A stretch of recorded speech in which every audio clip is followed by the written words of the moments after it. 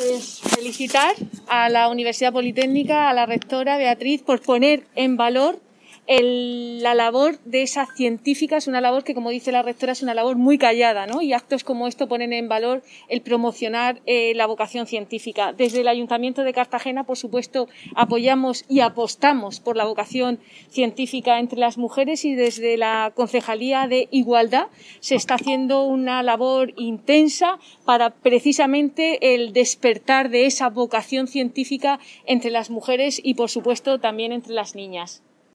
Hoy celebramos el Día Internacional de la Mujer y la Niña y pues en este momento lo hemos hecho como, con una iniciativa que empezamos ya hace tres años,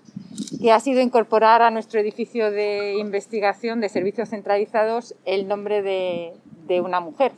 Eh, hace unos años nos dimos cuenta que cuando se construyó el edificio todos los nombres que había eran de científicos y pensamos que era una buena iniciativa empezar a poner nombres eh, de científicas. Eh, para ello iniciamos votaciones populares en las cuales pues, cada año proponemos cuatro nombres de científicas en nuestra web con su bibliografía y abrimos una votación eh, pública para todo el mundo para que elijan a la persona que quieran. Entonces, bueno, pues durante estos años hemos ido añadiendo nombres a nuestro edificio y este año, sorprendentemente, pues la votación ha sido muy popular eh, y la ganadora ha sido con 13.000 votos, lo cual creo que ha sido muy sorprendente porque ha trascendido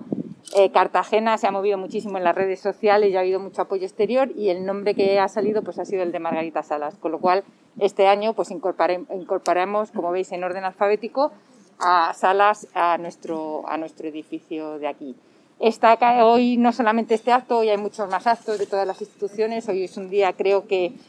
eh, es importante para poner a la mujer referente. Nos gustaría que realmente no, tener, no necesitar eh, actos como este. Y, por ejemplo, bueno, pues sabéis que el otro día desde el Parlamento Europeo, junto con, con el ministro de Ciencia, se presentó también la campaña de No More Matildas, intentando promocionar a las científicas en, en este ámbito para que tomen más relevancia.